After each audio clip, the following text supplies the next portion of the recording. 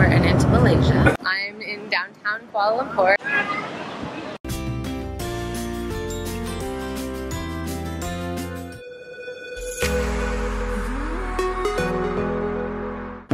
Good morning! Just went through customs um, out of Singapore and into Malaysia. And now I'm just sitting on the bus heading to Kuala Lumpur. And I am so excited! Country number 21. Um, I'll have a total of about six to seven days here in Malaysia before I have to make my way back to Bangkok um, for Songkran.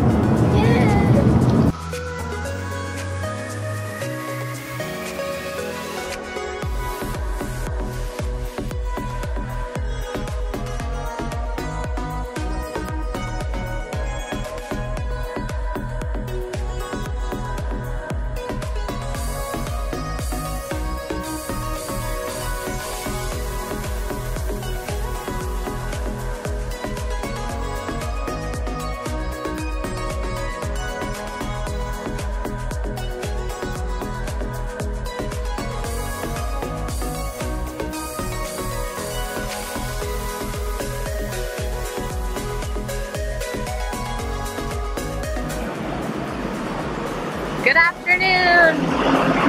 I have been really at filming. I don't know why. I just kind of gave up.